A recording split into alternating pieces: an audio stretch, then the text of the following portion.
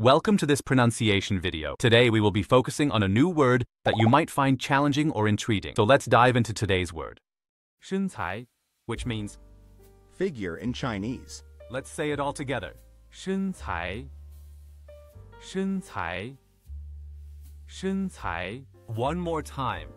身材身材身材 Thank you for joining us on this adventure in pronunciation. Remember, language is a journey, not a destination. Keep exploring, experimenting, and expanding your linguistic horizons. We'll see you next time.